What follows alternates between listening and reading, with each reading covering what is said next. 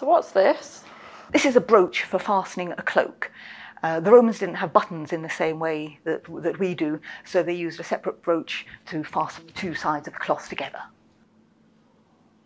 What's this one though? This one looks very interesting. This is also a brooch. The Romans had a huge design of lots of different types of brooches, but this one's particularly interesting because it's a Roman style brooch, but it has native British decoration on it.